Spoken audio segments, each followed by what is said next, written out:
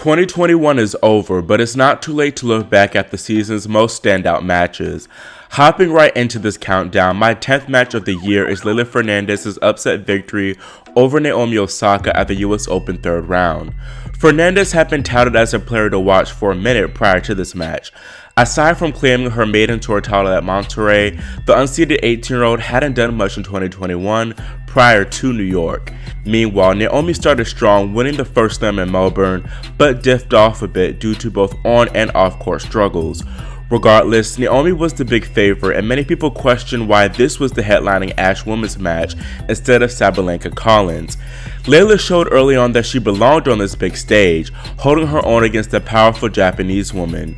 Naomi's experience appeared to be her saving grace though, getting crucial breaks in the 11th game of both sets. However, she played a sloppy game when trying to serve out the match and things began unraveling for the third seed soon after. After claiming the second set, Leylah immediately broke Osaka in the first game of the decider and it looked like Naomi would just gift her the win.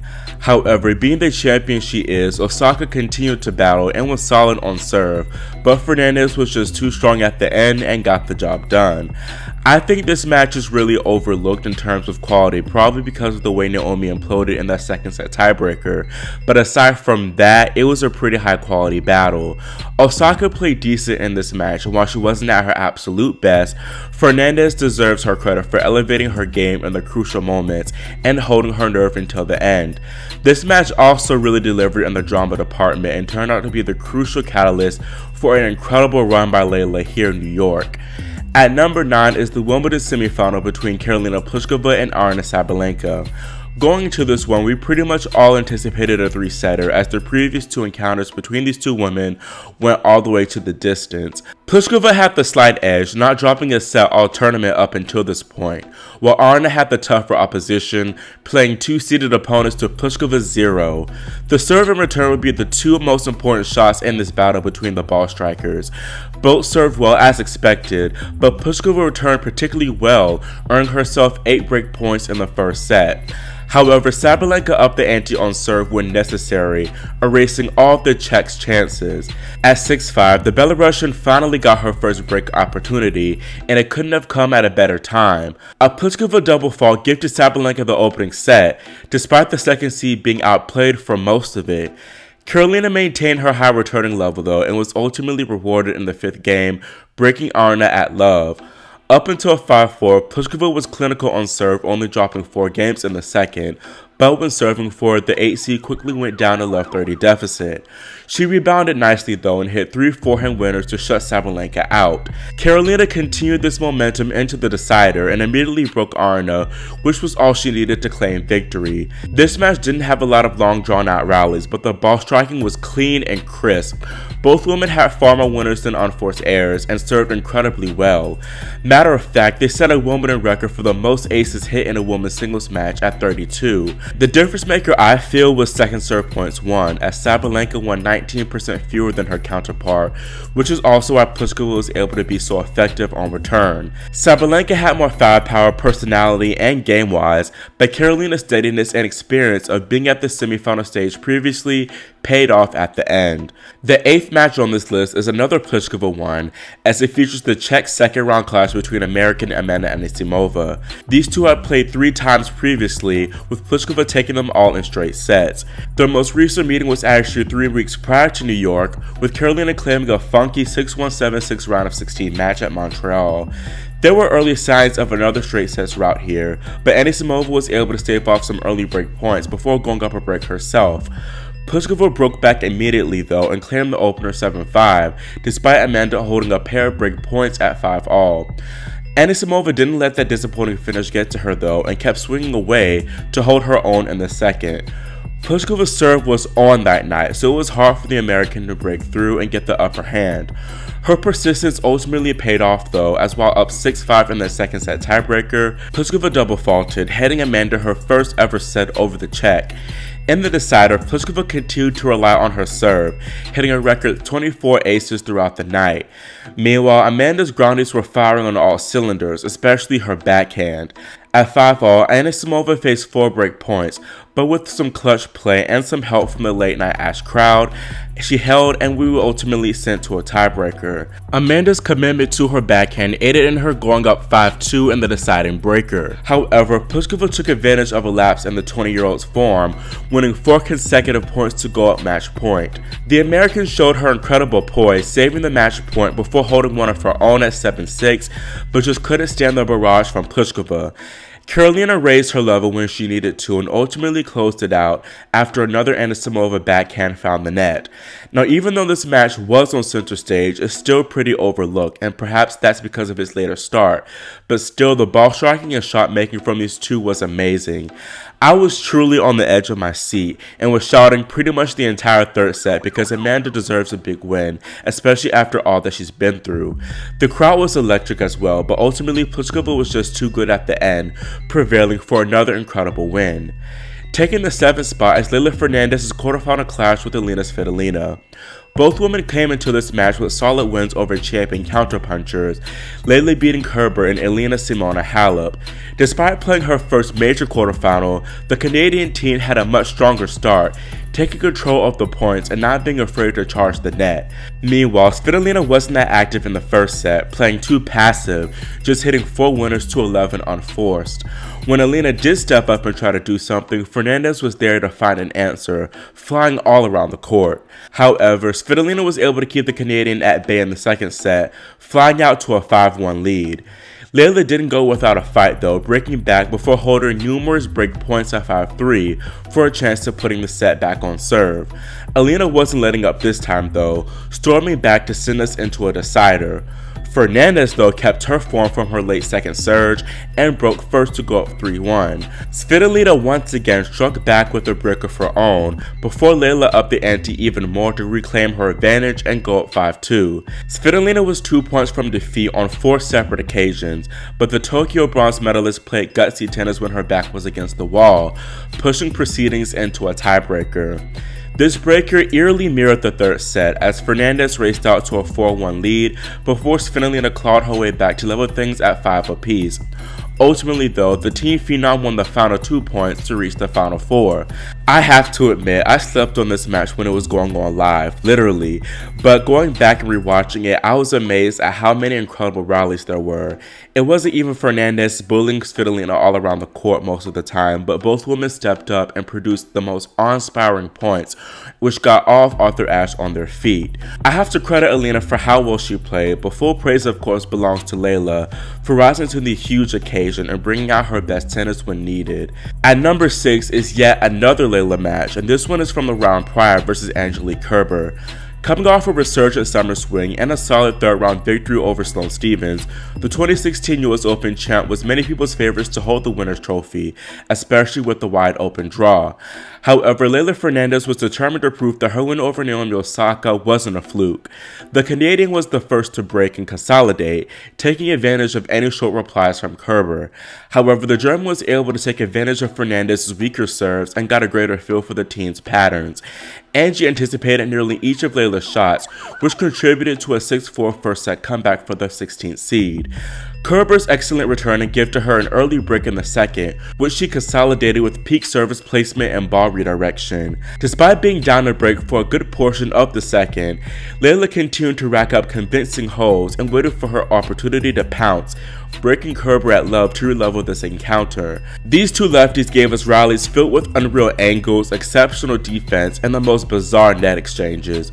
You honestly just didn't know what to expect, as one minute you can see them scrambling for minutes at a time, then the next they're cracking forehand down the line return winners. Fernandez was just a little better at these things and took the second set in a hotly contested tiebreaker. Despite dropping the second, Angie was still people's pick to get the W as she won her last 8 3 set matches. There were early signs of there being a ninth consecutive deciding set victory as she had break chance in the fourth game. Kerber was unable to cash in on her opportunity, which proved to be the major turning point of the match. Fernandez pulled off a boomerang break and then sort of ran away with the match at the end, winning the last five games to overcome a fading Kerber. This match was just brimming with high quality tennis, especially the first two sets and a half. Leylah could have easily laid down in the second after going down that deficit, especially with how well Angelique was playing. However, she problem solved and truly took control of this entire match. Angie and Leylah have very similar game styles as both love to take the ball early and are excellent defenders. Youth prevailed here though, as by the end, Leylah clearly had more energy than the German, mostly due to the amped Armstrong audience. Starting out the top 5 is Maria Sakkari and Bianca Andreescu's Midnight Marathon at the US Open. These two Miami Open semifinal was another battle that could have made this countdown, but I felt like the level here was a bit higher overall. Sakkari was coming into this one as the slight favorite, having an overall better season than Andreescu, plus she was coming off a solid win over Kvitova the previous round. Meanwhile, the Canadian appeared to be rounding herself into form in New York, still holding a 10-0 win streak at the year's final major. Andreescu had a dream start, going up 3 love and having a break point for 5-1. However, Sakkari kept chipping away and up the aggression to level things at 4 apiece. Towards the latter end of the first set, both women were in full flight, absolutely crushed the ball. Anything short was basically a done deal. At the end though, Andreescu, aided by craft and a bit of luck, closed out the 63 minute opening set. The level only continued to rise afterward, with Maria and Bianca engaging in numerous baseline battles and attempts to win the battle of court positioning. After four consecutive breaks midway in the set, Andreescu's superior returning and net skills gave her multiple opportunities to break Sakkari and serve for the match. Giving credit to Sakkari though, she really went for it when her back was against the wall, brushing aside all those break points. Maria used this to her advantage, taking a 6-3 lead in the second set tiebreaker. Bibi saved all three set points, but wasn't able to withstand a fourth, pushing this match into a third. The levels still remained sky high between these two, and after a long opening two games, Bianca got first blood, breaking for a 2-love lead. However, the physical wear and tear appeared to take its toll on the 21-year-old, who soon after required treatment for a left thigh issue. Despite her best efforts, Bianca couldn't fend off both the injury and a surging Sakkari, who sealed victory on her fourth and final match point opportunity. This match would have huge implications for both players. For Sakkari, it provided her the opportunity to go deep at a slam once more, which she did, but underperformed in the semis. Then, if Andreescu won, it could have been that one match that turned her season and really entire career around. I think it hurt Bibi deeply that she couldn't cross the finish line because her slam winning level finally returned, but she wasn't able to reap any notable rewards. Still, both should be incredibly proud of that performance, as is heralded by many as the match of the tournament. The fourth match on this list is Angelique Kerber and Sara Sorribes Tormo's 3-hour tussle at the women's second round. Both of these women are notorious grinders, so it should have been no surprise that we got a match of this caliber. Still, Kerber had the advantage of being a far more experienced and accomplished grass court player. Plus, the 25th seed was brimming with confidence after taking a title at Bad Homburg a week prior. All seemed to go as planned at the beginning when Angie got first blood to go up 5-3. However, Sorribes Tormo stormed back and made Kerber work for it before the German closed out the opener 7-5. After recovering from an early break deficit, Kerber had her eyes on a straight sets win going up 4-2 in the second. However, Tormo once again battled strong, winning the last 5 or 6 games of the set, while saving 2 match points might I add, to send this epic into a decider. Both women dropped serve twice to open the third set, but the quality was still sky high, as we were treated to numerous long breathtaking rallies. Kerber then took control and went up 5-2, but the Spanish woman continued to display her incredible defense while mixing in some slices and sneaky put-away volleys. Finally, after 3 hours and 18 minutes, Angie hit one last penetrating backhand down the line, this one out of Tormo's reach, to seal her spot in the third round. This is definitely one of the most overlooked matches of 2021, but those who did watch were really in for a treat. Each woman gave their absolute all with very little dips in level or lows. The Court 2 crowd showed their appreciation too, giving both players a well-deserved standing ovation. Kerber used this match to propel her to the Wimbledon semifinals, falling to eventual champ Ash Barty.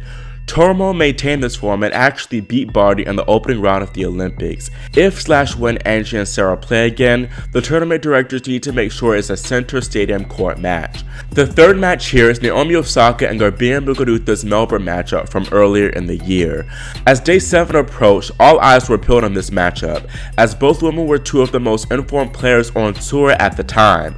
Both Naomi and Garbiñe crushed their opening three opponents at the Aussie Open, and you got the vibe that whoever won this clash would ultimately claim the title. This was also the first meeting between the two, and there did appear to be a few nerves as both women exchanged early breaks. Things did settle down soon after as Osaka and Muguruza started to get into their grooves. Naomi though lost focus a bit in the ninth game, making four consecutive unforced errors to hand the Spaniard an opportunity to serve for the opener, which she ultimately did with ease. Garbiñe just seemed comfortable and in control of every exchange, breaking the third seed immediately to open the second set. At this point, Osaka was still spraying more errors than necessary, so she made a conscious effort to just hang in the point longer to give Muguruza an opportunity to make a mistake herself. This worked to a T as Naomi quickly got back on serve. Muguruza served strongly hereafter, as did Osaka, so there weren't many other looks for either to break again.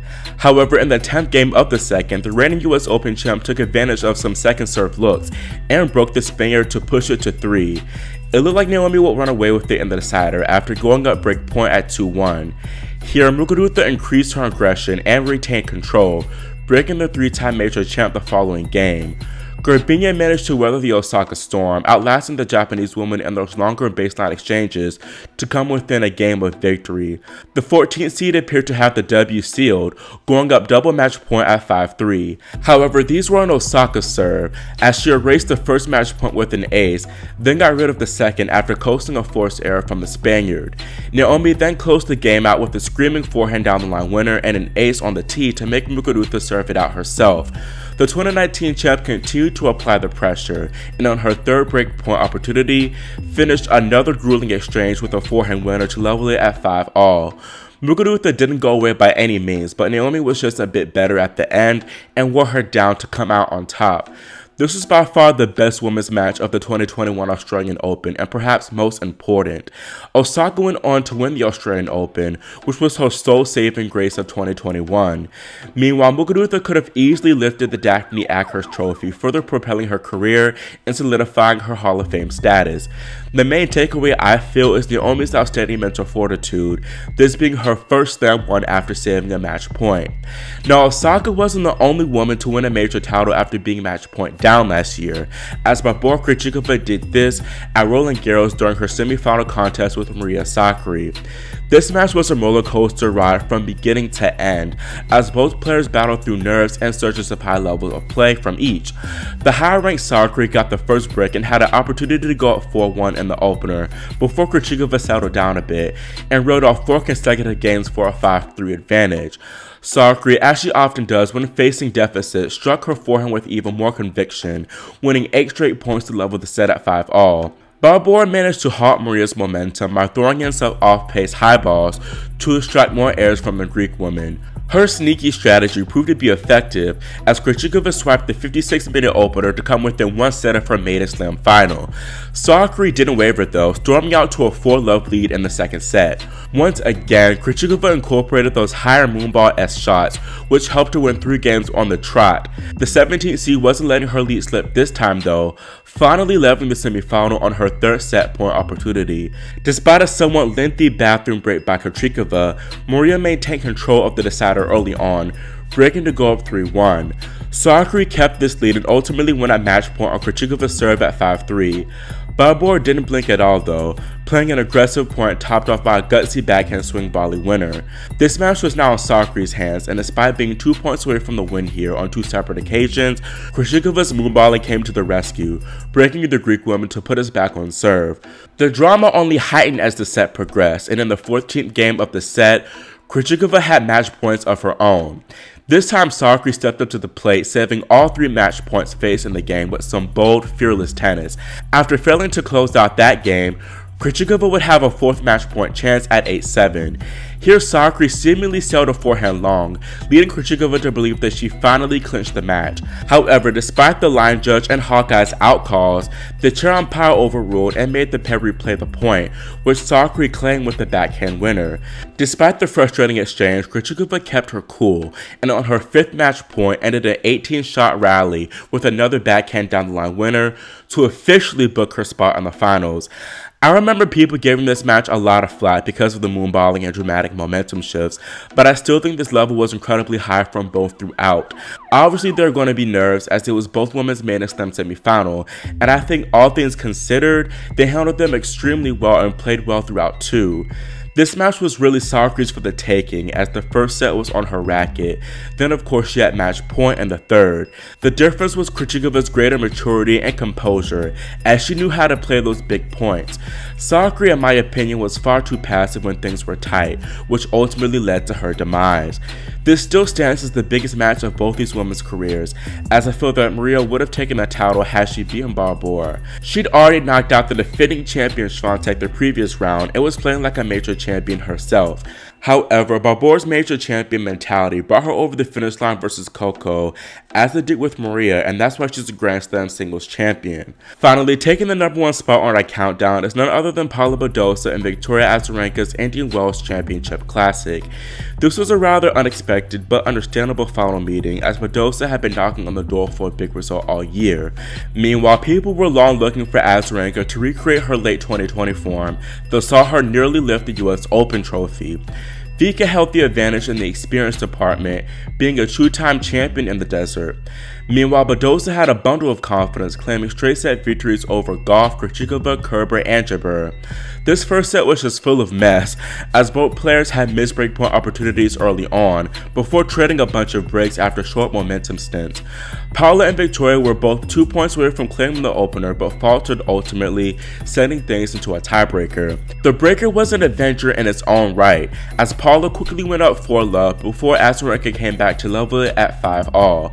Badosa won the next two points to finally seal the 80 minute opener. Things couldn't be any closer as both won 55 points apiece in the first set.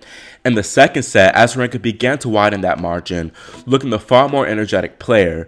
She cruised to a 6-2 second set win and looked to be charging towards a record-setting third BNP Paribas Open title. Badosa, however, seemed to be strategically reserving herself to go all out in the decider, breaking Vika off the bat to go up 2 love. Azarenka fought back to regain her imposing court positioning, breaking to put us back on serve. Both women held the next few games, but those holes didn't come easy, as these players regularly capped off lung-busting rallies with scorching down the line winners. This was primarily a battle of the baseline exchanges, with Azarenka notoriously excels at. Her expertise appeared to pay off as Vika broke a distressed Badosa to serve for the match. At 5-4-30 love, I thought for sure Azarenka had it in the bag, but something came over her as she subsequently made four unforced errors to let the Spaniard right back in.